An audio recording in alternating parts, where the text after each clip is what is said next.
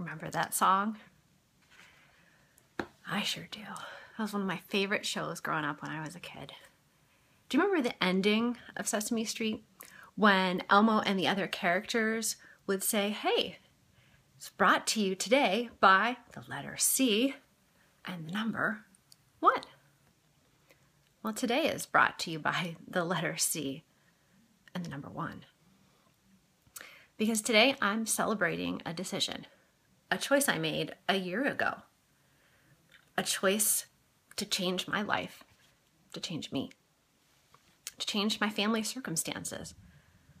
I just felt that at that time I had no extent of the scope of how those changes would affect my life. I just knew that I had to do it. And I know those changes could be exactly what I needed. And it could benefit my family immensely, and it could help others change their lives too. One person at a time. And, you know, making the choice to change is never easy. Hey, Abby, thanks for joining in. Because when you make a change, you're always going to be confronted with challenges, highs and lows, but I chose to continue on this journey because I wasn't willing to concede defeat so easily. I'm celebrating confidence the confidence to look in the mirror and not want to cry every morning, every night.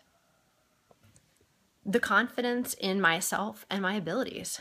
And over the past year, I've received a ton of compliments and I'd like to share my heartfelt thanks to each and every one of you for those compliments. You have no idea how much each comment and compliment contributed to my improving confidence level. And if you think about it, compliments are what power each and every one of us. They inspire and they motivate us to achieve more than we ever thought we could.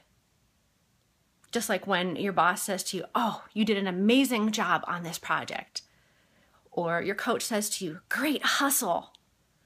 Or even when your friend says to you, Oh my God, you look amazing. I love your shoes. I mean, those compliments mean everything to us.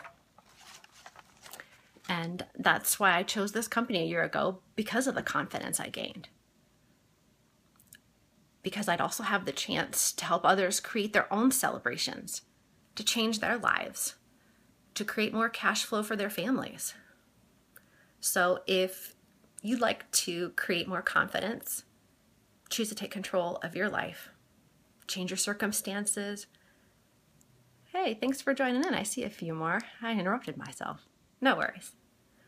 But um, as I was saying, if you want to change your circumstances, add to your cash flow, or even just satisfy your curiosity, message me. Or even comment below for any recommendations.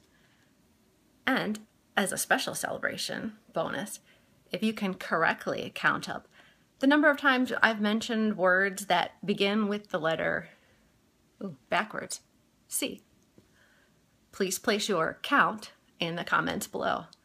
I'll draw a winner from the correct guesses and send you a little prize as my thanks for celebrating with me tonight. So for me, the celebration comes down to the letter C and the number one. Hey, Dan. So, what will you celebrate in one year?